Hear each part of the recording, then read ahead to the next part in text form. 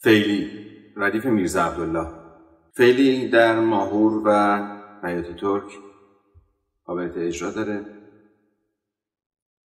و معمولا می‌تونیم اون رو زمین سازی برای اجرای شکسته در این دوتا دستگاه بدونیم.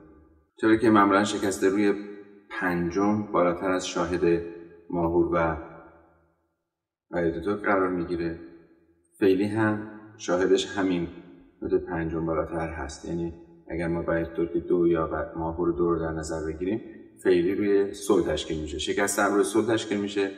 تفاوتشون در این هست که نوت سوم یعنی می در شکست کرون میشه و رو به پرده عقب میاد.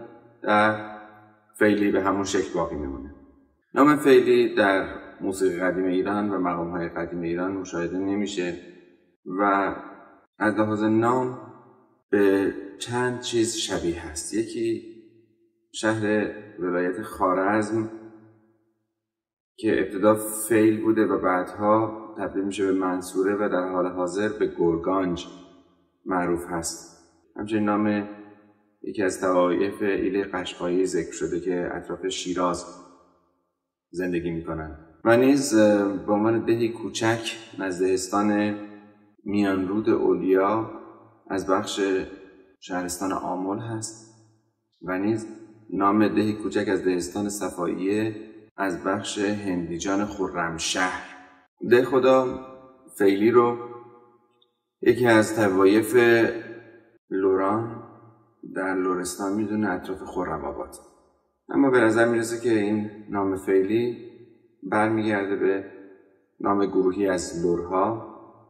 در لورستان و باختر ایران و همچنین جنوب خاور کردستان عراق که در از در ایران استان لورستان، همدان و ایلام رو در بر می‌گیره. فیلی ها دو طایفه هستند. طایفه ایل کرد و محکی.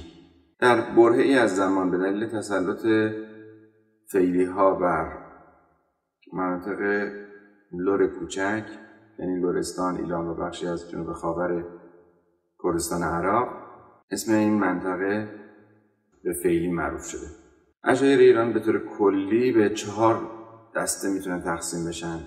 لکوزند بختیاری ممسنی و فیلی از لحاظ ریشه ای فیلی تلفظ عربی پهلی هست. که از پهلوی و پاری میاد. و می‌دونیم که واژه پهلوان همون پهلو به اضافه الف و نون هستش منتصبه به پهلی یا پهلو.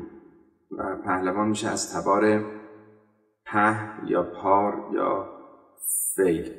بنابراین فیلی به نوعی ریشه داره از واژه پهلوان و مرد نیرومند یا بزرگ.